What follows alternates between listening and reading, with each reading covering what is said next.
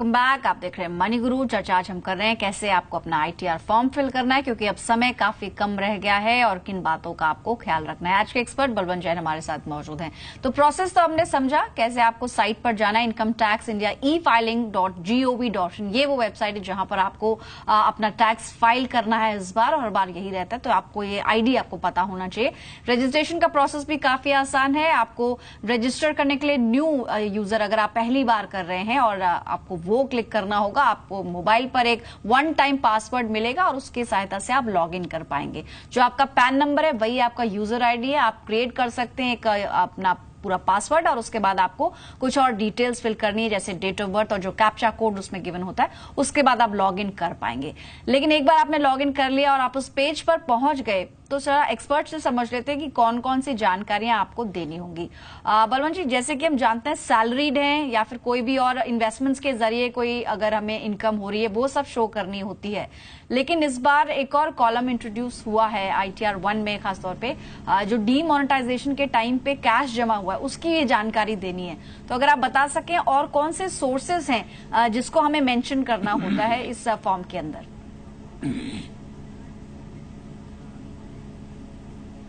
देखिए पल्लवी पहले तो मैं जवाब दूँगा आपकी जो क्वेरी है कि आपको हर एक फॉर्म में इंक्लूडिंग जो आईटीआर वन है उसमें भी आपको जो डीमोनेटाइजेशन के पीरियड का जो 8 नवंबर से लेकर 30 दिसंबर तक के पीरियड के बीच में आपने जो भी पैसा अपने बैंक अकाउंट में जमा कैश में जमा किया है हम्म, हम्म। अगर मतलब वो राशि अगर दो लाख से ज़्यादा है तो आपको उस कॉलम में मतलब अलग अलग बैंक अकाउंट की detail detail bank wise bank account wise detail में डालना है। और वो ज़रूरी नहीं कि आपका पैसा है, वो सिर्फ़ सेविंग बैंक अकाउंट में जमा हुआ हो। अगर आपने लोन या आपकी कोई किस्त भी अगर कैश में भरी और कुल मिला के दो लाख से ज़्यादा है तो आपको जो ये कॉलम है, इसमें सबमिट करना है। और एक बात और पल्लवी में बताना चाहूँगा कि ऐसा नहीं कि आपने जो पुराने नोट है, जो नोट बैन हो गए पाँच सौ और हज़ार रुपये के, और वो डिपॉजिट की है तो ही आपको ये कॉलम में डिटेल डालनी ऐसा नहीं है। हम्म। अगर आपने आपके जो 2000 वाले या 500 के जो नए नोट है और हम्म, हम्म। उसका भी अगर डिपॉजिट जो अगर दो लाख से ज़्यादा है इस पीरियड के दौरान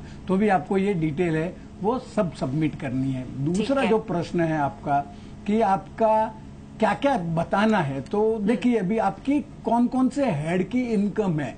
मतलब वो इवन आपकी एग्ज़ाम इनकम है तो भी एग्ज़ाम एग्ज़ाम इनकम का शेड्यूल है वो उसमें आपको बतानी है। तो कोई भी प्रकार की अगर इनकम आपकी होती है वो आपको आपके इनकम टैक्स का आईटीआर फॉर्म में तो भरनी है।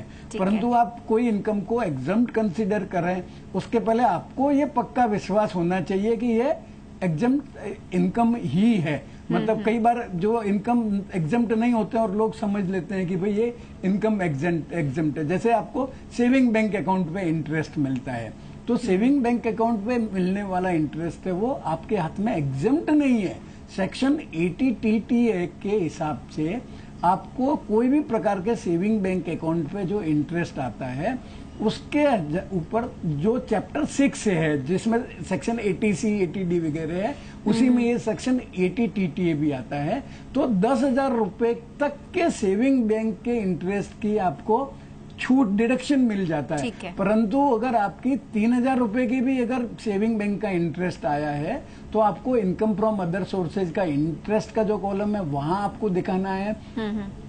और फिर जो डिडक्शन का कॉलम है उसमें दिखाना है। परंतु अगर दस हज़ार से ज़्यादा है सपोज़ पंद्रह हज़ार है तो इफेक्टिवली आपको पाँच हज़ार रुपये पे टैक्स लग भरना पड़ेगा। परंतु चूँकि क्या सेविंग बैंक अकाउंट पे टीडीएस का प्रोविज़न नहीं है रेसिडेंट के लिए तो लोगों का यही प्रिजम्पन रहता है कि नहीं सेविंग बैंक अकाउंट का इंटरेस्ट तो दिखाने का ज़रूरत ही नहीं है वो तो एग्ज़ाम इनकम है। तो मैं ये बताना चाहूँगा इसी तरह जैसे एफडी इंटरेस्ट पे भी लोग समझते हैं मेरा टीडीएस कट गया है टीडीएस कटना टीडीएस कटना और आपकी टैक्स लाइबिलिटी का निर्वाह दोनों अलग अलग चीज़ है। हम्म, हम्म। आपका स्लैब रेट ज़्यादा हो सकता है टीडीएस आपका हो सकता दस परसेंट पे ही कटेगा। तो आपको आपकी इनकम पे इनकम में ऐड करना पड़ेगा। और टीडीएस का आप जो दस परसेंट के हिसाब से कटा है उसका आप क्रेडिट ले सकते हैं। और अगर आपके स्लैब दस परसेंट से ज़्यादा है तो आपको उसका जो बैलेंस टैक्स लाइबिलिटी उसका भी पेमेंट करना पड़ेगा। तो आपके जो आपकी जो बैंक पासबुक वगैरह है और अगर म्यूचुअल फंड में आप इन्वेस्टमेंट वगैरह करते हैं तो म्यूचुअल फंड के जो इन्वेस्टमेंट जो डिटेल स्टेटमेंट है उसमें आप देख लीजिए क्या रिडेम्पशन वगैरह किया है है। क्या स्विच वगैरह किया है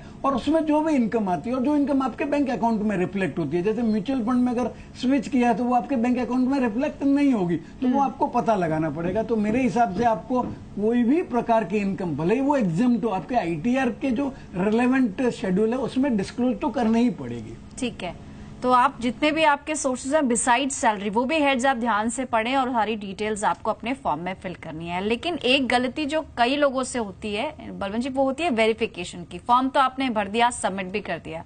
लेकिन वेरीफाई नहीं करते और फिर जब समय निकल जाता है, तब फिर उन्हें पता चलता है कि उन्होंने न तो प्रिंट आउट निकाल के उसे बैंगलोर भेजा था और ना ही उन्होंने उसे सेल्फ वेरिफिकेशन किया था।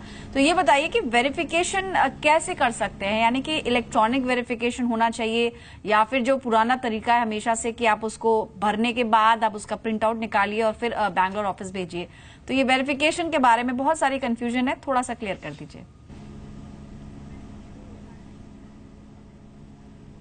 देखिए पल्लवी, ऐसा है कि इंडिविजुअल में इंडिविजुअल और एच में जिनका बिज़नेस है और जिनके बिज़नेस की टैक्स ऑडिट होती है तो उनके लिए जो अपना जो इनकम टैक्स का रिटर्न है, वो डिजिटल सिग्नेचर से ही वेरीफाई करना ज़रूरी है। इसके अलावा जो भी रिटर्न आप ऑनलाइन फ़ाइल करते हैं, उसमें भले ही आपके लिए डिजिटल सिग्नेचर अटैच करना मैंडेटरी नहीं है, पर अगर आपके पास डिजिटल सिग्नेचर है तो आप डिजिटल सिग्नेचर यूज़ कर सकते हैं। इसके अपना, आपका जो आधार कार्ड है, आधार कार्ड से आपको जो ओटीपी आ जाएगा, वो आप डाल के कर सकते हैं। इसके अलावा आप एटीएम से भी करने की सहूलियत है अब आपका इंटरनेट बैंकिंग लॉगिन करके भी आप आपका जो रिटर्न वगैरह फ़ाइल किया है वो आप बाद में भी वैलिडेट कर सकते हैं। परंतु अगर आपको इन इन जो प्रोसेस मैंने बताई है ये प्रोसेस से अगर वेरीफाई नहीं किया है तो आपके पास फिर भी टाइम है। जैसे मैंने बताया कि आप जो आप आईटीआर फॉर्म फाइव जो जनरेट होता है जैसे ही आपका इनकम टैक्स रिटर्न फ़ाइल हो जाता है आपका आईटीआर फाइव जनरेट हो जाता है उसका प्रिंट आउट निकाल लीजिए। और साइन करने के बाद सीपीसी का जो बेंगलोर का एड्रेस है और वो एड्रेस भी आपका उस फॉर्म के आईटीआर फाइव के ऊपर रहता है।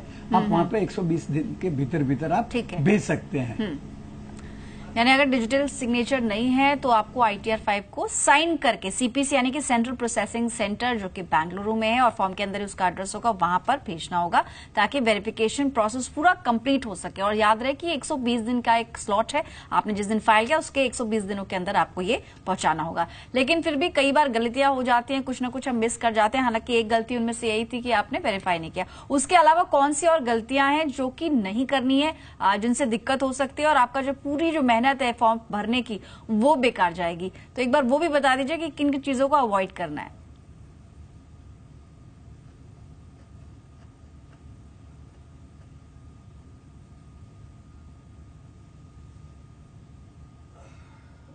एक्सपर्ट है, जो प्रैक्टिसिंग चार्टर्ड अकाउंटेंट से टैक्स कंसल्टेंट है, उनकी आप राय लीजिए, उनका एक्सपीरियंस फ़ायदा मिलेगा। आपका टैक्स फाइलिंग के अलावा भी आपको आपके इन्वेस्टमेंट वगैरह में वो आपको एडवाइस दे सकते हैं। परंतु अगर आप खुद ही कर रहे हैं तो मेरा सुझाव है कि आप पेन नंबर वगैरह तो आपका वैलिडेट हो जाता है क्योंकि आप पेन नंबर के से ही आप लॉग इन करते हैं। आप एक असेसमेंट ईयर एक बराबर ध्यान रखिए कि जो असेसमेंट ईयर का रिटर्न भर रहे हैं वही असेसमेंट ईयर का फॉर्म यूज़ कर रहे हैं या नहीं। ठीक है। तो ये सब चीज़ें जो आपको ध्यान में रखनी है क्विकली बता दें क्या क्या वो चीज़ें जो भी आपने डिटेल्स भरी है, उनमें कोई गलती नहीं होनी चाहिए। अदरवाइज़ आपका जो पूरा प्रोसेस है, वो दोबारा से आपको करना पड़ेगा और फॉर्म ठीक चूज़ करिए। यानी ये जान लीजिए आपके लिए कौन सा फॉर्म सही है। आप सैलिड है या फिर बिजनेसमैन और उससे पहले आप फॉर्म 26 एस इसको ज़रूर वेरीफाई कर लें। और कोई भी डिडक्शन अगर आपको क्लेम कर रहे हैं, यानी कोई भी इन्वेस्टमेंट्स आपने किए हुए हैं, वो ज़रूर आप शामिल कर लें, उसे इंक्लूड करना ना भूलें। कई बार होता है कि समय पर आपने वेरीफाई नहीं किया आईटीआर फाइव तो भी गलती हो सकती है और कई बार प्रिंट आउट निकाला, लेकिन साइन करना भूल गए। इस तरह की गलतियों को अवॉइड कीजिए ताकि आपको आने वाले समय में कोई दिक्कत ना आए। शुक्रिया बलवंशी आपका समय निकाला आपने और आईटीआर के बारे में बताया। तो आज की इस खास पेशकश में इतना ही। दीजिए इजाज़त। नमस्कार।